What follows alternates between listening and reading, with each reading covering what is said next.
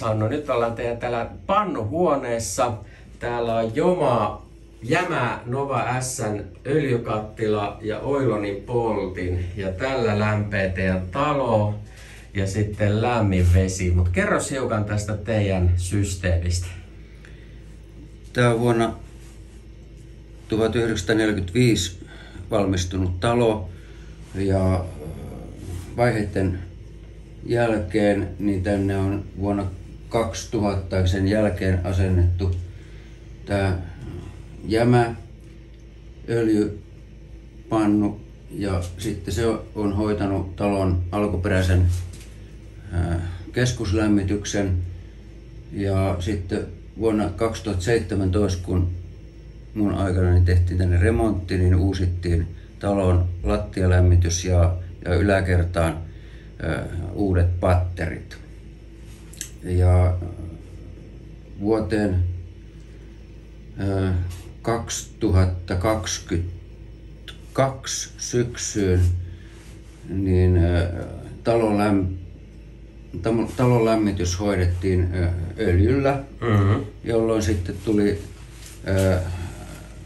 öljyn hinnan korotusten jälkeen ajatus, että tota, pitäisi saada vähän, vähän pienennettyä sitä energialaskua ja, ja, ja putkimies hommas tänne lämpöpumpun, joka on niin kuin ihan tarkoitettu tämmöiseen hybridi lämmitykseen jonkun muun lämmölähteen kanssa – ja, Eli öljylämmityksen rinnalle. Että tässä tapauksessa öljylämmityksen rinnalle.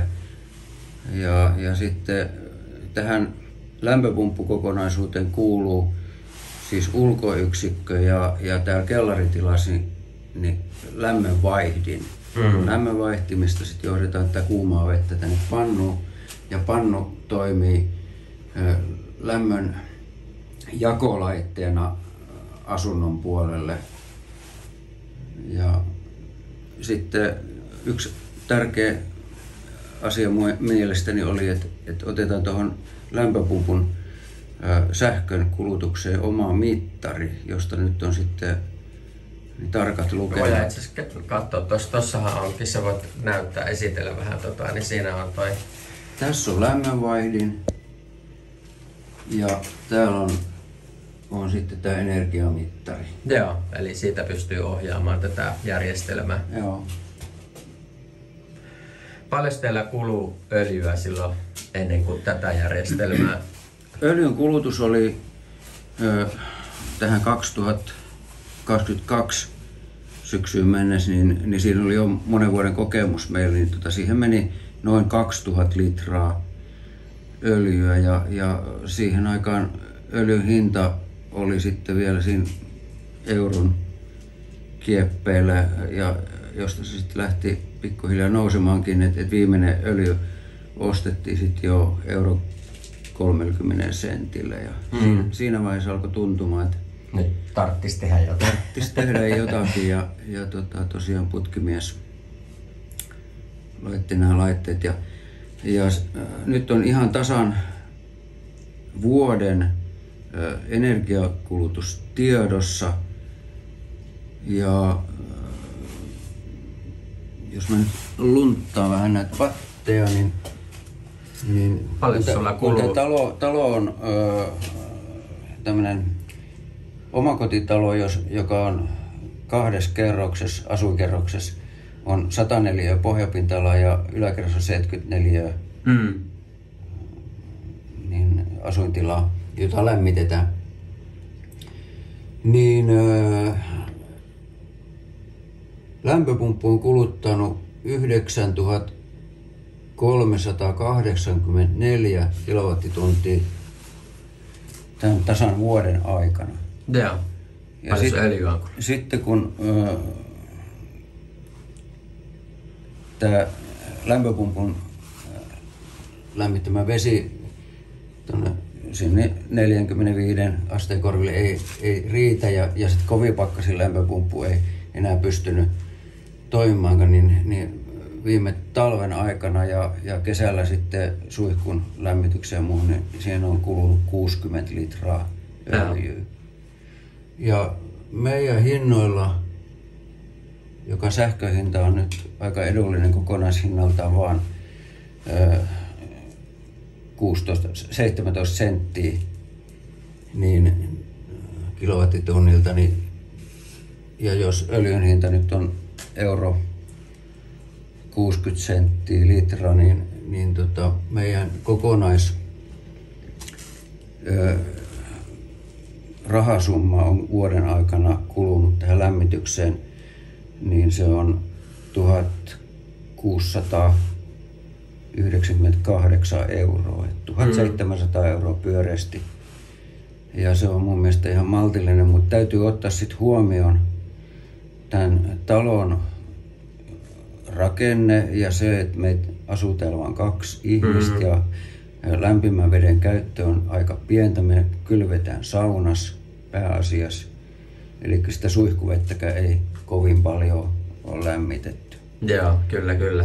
Mutta ilmeisen tyytyväinen on tähän No meidän tilanteessa ja tämän rakennuksen ö, ominaisuudet huomioon ottaen, niin, niin olen kyllä erittäin tyytyväinen, että tämä sopii vielä eläkeläisten budjettiin ihan hyvin, koska tota, on päästy sitten, kun tavoitteena oli se, että, tota, että, että saadaan pidettyä energialasku siinä 2000 euros, mikä se oli silloin halvan öljyn hinnan aikana, niin Nyt on, on, on päästy 300, 300 eurolla alittamaan se, että tässä on vielä vähän varaa sitten, vaikka sähköhintakin nousisi seuraavassa sopimuksessa, niin ettei mentäisi kovin paljon yli sen 2000 euron. Joo, kyllä, ja kyllä. jos verrataan tämän hetken öljyn hintaan, että tätä talo olisi vielä lämmitetty tämä vuosi pelkällä öljyllä, niin se olisi siellä 3000 ja 3200 euron mm.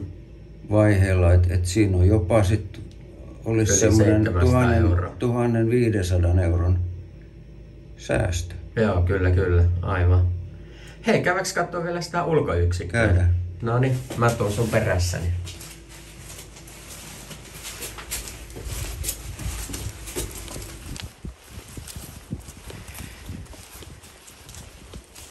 No niin, tässä on nyt tämä ulkoyksikkö. Eli tää oli se, mitä putkimies suositteli. Joo. Imex-merkkinen saksalainen viiden vuoden takuulla. Kyllä, kyllä. Hyvin on pelannut. Tähän mennessä niin täydellisesti, että ei ole mitään moittimista ollut. Joo, kyllä, kyllä. Ainoastaan se, että kun pakkaset alkaa nousta tonne 15 yläpuolelle, niin sitten alkaa tuntumaan, että, että tota, kone on kovilla, kovilla ja siinä sitten muutama aste vielä sen yläpuolella, niin sitten alkaa tuntumaan parin kolmen päivän päästä tuolla sisällä, että, että nyt viileä. alkaa viileys tulla seinien läpi. Ja, ja, ja tota, sitten pistetään öljypoltin päälle ja, ja kun ei tätä niin loppuun viety tätä automatisointiin, niin silloin, silloin tämä Dimex niin haistelee, että et, tota, et pannossa on tarpeen lämmintä vettä. Eli Dimex lopettaa toiminnan ja, ja sitten öljypoltin hoitaa sen Kyllä, kyllä. Kovan homman sitten siitä eteenpäin. Saadaan seinät lämpimäksi. Kyllä, kyllä. No mutta sehän tämän hybridi-idea just mm. onkin. Ja kyllä. mitä sun kanssa nyt tässä juteltiinkin, niin sä oot tyytyväinen tähän järjestelmään. No, erittäin ja... tyytyväinen. Eli voit sitten suositella tietysti muillekin. Niin, siinä tapauksessa, että olosuhteet äh, niin, niin sopii, eli äh, että on toimiva, kunnossa oleva ja, ja, ja tota, jatkoikä ö, omaava öljypannu ja poltin. Et sitä ei tarvitse vähän aikaa uusi, niin kuin meillekin on sanottu, että toi teoriassa menisi 20 vuotta vielä tuo öljypannu. Mm, niin öljykattilat silloin... yleensä aika pitkäikäisiä, jos ne joo, on hyvässä kunnossa. Joo, niin, niin sitten niin, se on niin kuin se lähtökohta ja, ja sitten siihen niin rinnalle tämä lämpöpumppu. Ja sitten täytyy huomioida, että, että lämmön luovutuslaitteet tuolla sisäpuolella, niin, niin että ne toimii matalalämpötiloissa. Eli kun Dimex nostaa veden lämmön talvellakin niin siihen 45 korville, niin, niin tota, se ei sitten pysty enempään. Kun tulee mm. ne rajat vastaan, niin sitten täytyy sitä lisälämpöä kuitenkin sit saada. Ja Dimex pystyy sen hoitamaan kyllä suorasähkölläkin, mutta tässä tapauksessa nyt meillä niin tota se hoidetaan se lisälämpö ö, öljyllä. Ja se on hyvin varma toiminen ja helppo. Mm. Se on varmaan tämän huoltovarmuuden, se on huoltovarmuuden hyvä juttu. takia hyvä. Ja, ja sitten kokonaisuutena, kun rahaa ei ole kulunut tähän investointiin, kun Dimexin osalta ja asennuksineen sähkötöineen niin 5700 euroa. Ja jos siihen lasketaan lisäksi niin saamatta jäänyt 4000 euron avustusta, eli pyörästi 10 tonni on tämän Dimexin aiheuttamia kuluja, niin, mm. niin sitten jos ilmavesilämpöpumppu maksaa tähän taloon noin 18 000 ja, ja sen lisäksi vielä öljylaitteiden asiallinen hävittäminen, niin, niin ehkä on sitä hajurakoa vielä sitten semmoinen 8 9 000 euroa. Mm, mm. Eli siinä tapauksessa, että vanha laitteisto, öljypuoli on, on vielä käyttökelpoinen, niin, niin ei todellakaan niin kuin tässä tapauksessa, meidän tapauksessa ainakaan olisi mitenkään kannattanut ne heittää pois sitä. Heittää pois näitä. Joo, joo. Et taloudellinen puoli oli jo, ja sitten tota, äh, kyllä mä sanoisin, että tässä on ihan tapahtunut kyllä sitten tämä niin, niin ilmastoystävällisyys, mm. jos, jos, se, tota, jos se sitä nyt sitten tarkoittaa. Niin. Kyllä, kyllä. Onhan sekin, ei sekään ole ekologista, että toimivia laitteita heitetään kaatopaikalle. No nimenomaan, nimenomaan tämä. Ja sitten on semmoinenkin asia, mitä ei koskaan huomata ilmastokeskusteluissa ja energiakeskusteluissa, että, että kun hankitaan uusia laitteita, että jos ne hankitaan 10 000 tai 20 000, niin siihen 10 000 täytyy tehdä työtä, mm. joka vääjäämättä aiheuttaa ilmastopäästöjä jossain vaiheessa se rahan hankkiminen. Mm. Niin, niin puolet vähemmän on tämän ö, summan hankkimiseen tarvittuus hiilidioksidipitoista työtä. Mm. Kyllä, kyllä, aivan. Hei, kiitoksia Hannu. Kiitos.